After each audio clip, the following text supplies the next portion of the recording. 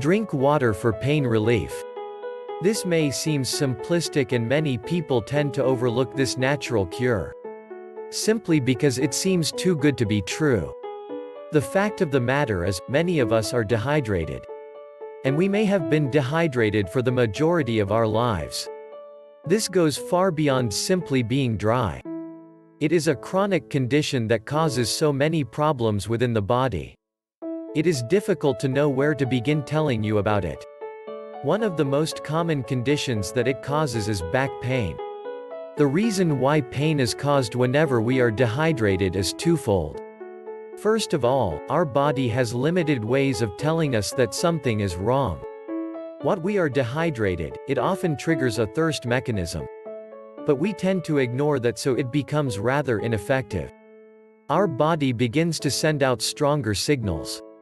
As we become more dehydrated and pain can be one of those signals.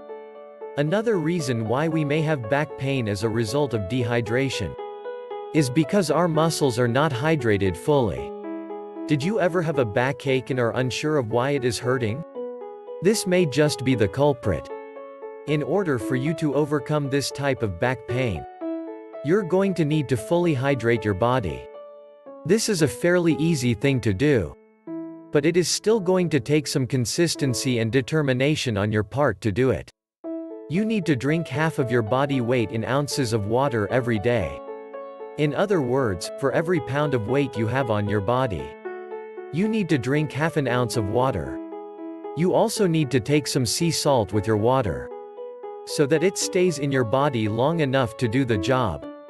Not only will you begin to notice a difference in the way that your back feels after drinking water in this fashion, you're also going to notice other health benefits. You may also notice that your mind begins to clear as your brain begins to become fully hydrated as well. The benefits that we get from drinking water far outweigh any inconvenience that it may bring our way. Try it yourself for a few days, you will notice a difference. Healthy tips. For more videos, don't forget to subscribe.